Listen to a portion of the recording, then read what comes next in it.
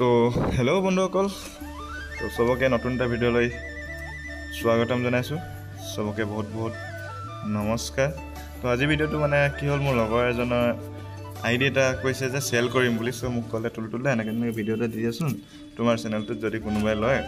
সেইটো কাৰণে মই লগৰে হয় মোৰ ঠিক আছে। সেইটো কাৰণে মই ভাবিলোঁ এটা ভিডিঅ' দি দিওঁ তোমালোকে কালেকশ্যন চাই ল'ব পাৰা।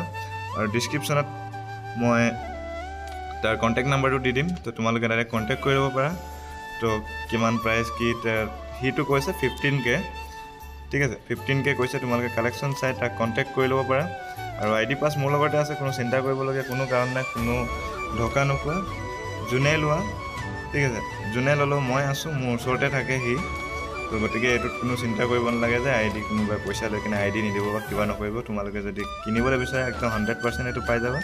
তাত কোনো সন্দেহ নাই। তো ব'লো তেনেহ'লে তোমালোকে কালেকশ্যনখিনি চাই লোৱা ঠিক আছে।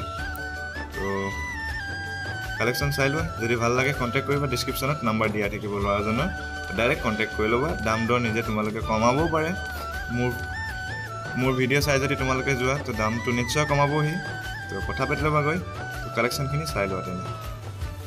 আৰু এটা কথা কৈছোঁ এই আই ডিটো লেভেল হ'ল ছেভেণ্টি ছিক্স তোমালোকে জানে ছেভেণ্টিৰ ওপৰত লেভেল বনাবলৈ কিমান কষ্ট হয়। ছেভেণ্টি ছিক্স লেভেল বনাই থৈছে বহুত পুৰণা আইডিও হয়। তো চাই লোৱা তোমালোকে নিজে। যদি ভাল লাগে কণ্টেক্ট কৰিবা।